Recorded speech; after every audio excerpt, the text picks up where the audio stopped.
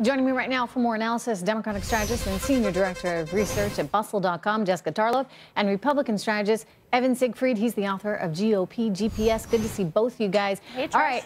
He covered a lot of ground there. Uh, it, it, felt in some ways almost like one of his campaign speeches. He made a lot of promises in terms of what wa he wants to get done. Evan, how much of this do you think is indeed realistic? How much will he get accomplished in his first year? Well, I think he's already putting points on the board, but he's doing them through executive action. And what he needs to do is do that with Congress, and that would actually help uh, energize Republicans who are, might not be as in favor of him, but are in favor of their elected representatives, that they go out and they toil and work hard to get them elected. I think he's in a good position because of the having both chambers of uh, Congress, and he also is actually flexing some muscle by talking to the conservative grassroots activists. They are the very ones that he will need in order to pass his agenda. They're going to be the people pushing the public and pushing back against the uptick on the left in enthusiasm. Okay. Um, you know, you think about yourself, for example, Evan, and you're a conservative. You're someone who was not very excited about Donald Trump uh, at all. Um, in fact, initially you may have disliked him as much as Jessica does, but you've come around. but you've come, but, but, over to you in a minute, Jessica. But you've come around, Evan. Um, and, and how is that? How did that come to be? In other words, what did what happened with you that you said, okay, this is my president and I want these policies to succeed? And how does that happen with the rest of the Republican Party? And I'm thinking about John Kasich, for example, who's there at the White House today. Well, I didn't fall and hit my head. At, there's a time for campaigning, and the time for campaigning ended after the election ended. After that, whether or not we like the result, we all have to come together as Americans and support the President of the United States. It's not saying not my president. We didn't mm -hmm. do that with Barack Obama because the president's success is America's success. And I think other Republicans see that as well. And we can band together and achieve results. Okay, together. but then this means also bringing Congress along as he tries to get his agenda through. Uh, and Jessica, look, there's political hurdles to anything. I mean, this is a man who comes from a business background. He's run his own company.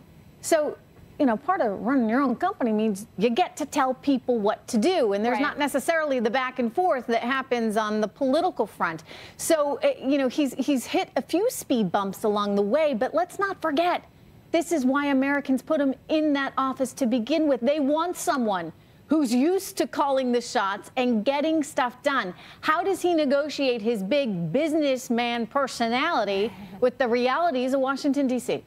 Well, I think it's going to be a difficult path for him. I think that Congress obviously has more familiarity with this process, as most of them have been there before, and they know what it takes for all three branches of government actually to work together to accomplish anything. You know, I think that he has by and large been inching towards getting better. Obviously, the Trump bravado is never going to go away, but I think mm -hmm. that as he continues to hit some of these roadblocks that Evan mentioned, continue to do with there being co-equal branches of government, he's going to start to realize more and more that even though he's never had a boss before, he now has about 320 million of them. Well, uh, you know, look, he, he, the one thing I would say he's got going for him, though, is that he's got Americans on his side in a way that, you know, he may not have every member of Congress on his side. He may not yeah. have every member of the Senate, but he's got a lot of Americans on his side. Let me share with you uh, part of his rhetoric about putting the country first. Uh, he's saying he's never going to apologize for protecting the safety of American people. Let's watch. I will never, ever apologize for protecting the safety and security of the American people. I won't do it. If it means I get bad press, if it means people speak badly of me, it's okay. Doesn't bother me. The security of our people is number one, is number one. You see, I think that resonates in America right now. I think people have felt very unsafe, you know, from both an economic standpoint and an actual security standpoint. And Evan, isn't the number one job of our country, of our president, to in fact keep us safe? I mean, this is sort of one of those basics that goes along uh, with, with who we are as Americans, we anticipate and expect our government to keep us safe. And so, even though the left throws a fit with some of his rhetoric and some of the things he's proposed, in other words, his intentions are right. And his intentions may be very much in line with your average American's thinking. Yeah, I think the left needs to realize that Donald Trump doesn't wake up in the morning and think, how can I harm the United States? He thinks, how can I keep it safe? And whether you agree with the method in which he does it is one thing, but to go out and protest left and right saying that this is anarchy and it should be impeachable is utter nonsense.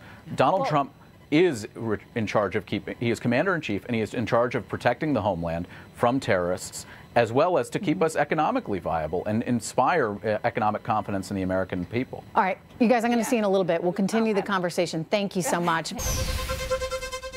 All right, there you have it. You've seen John Kasich, governor of Ohio, walking into the White House just moments ago. Right now, as we speak, he is sitting down with the President of the United States, a man who he's had a little bit of a rocky past with. Don't forget. Remember when the Republican convention happened? John Kasich was in his home state. He didn't even go. Uh, so perhaps this is an opportunity right now for them to mend some bridges. I, I'm back with Jessica Tarlov and Evan Siegfried. And, uh, you know, Jessica, it, it's kind of important, right, that the Yeah. Republicans stick together. I mean, they. They need every vote they can get. And we've seen that, that some have, have drifted off. I mean, you think about Senator Collins in Maine. You think about uh, the senator from Alaska. Uh, Mm-hmm. Betsy DeVos was someone that neither one of them were too happy about. They drifted Right. off to. If, if you run this risk where you, you get a few stragglers here and there along the way, it makes it much harder to get your agenda through, right? Absolutely. So, I mean, what role can John Kasich play in bringing people back together? Well, I think that what John Kasich can do is much of what he's done all along, which is to be a voice of moderation within the Republican Party. Now, to a liberal, his agenda is still quite extreme, especially on women's issues. Um, but John Kasich knows how to talk the talk and walk the walk. He balanced budgets in Ohio. He works with Democrats um, and is liked on both sides of the aisle. I know a lot of Democrats who said we would have been okay if he had been president. So I think that what he needs to do is explain to Donald Trump that, for instance, when you have GOP congressmen and women coming out of Texas saying that the border wall is not the best way to secure the border, listen to them. When you have Susan Collins say, I will not vote for an Obamacare repeal if it means defunding Planned Parenthood, listen to her.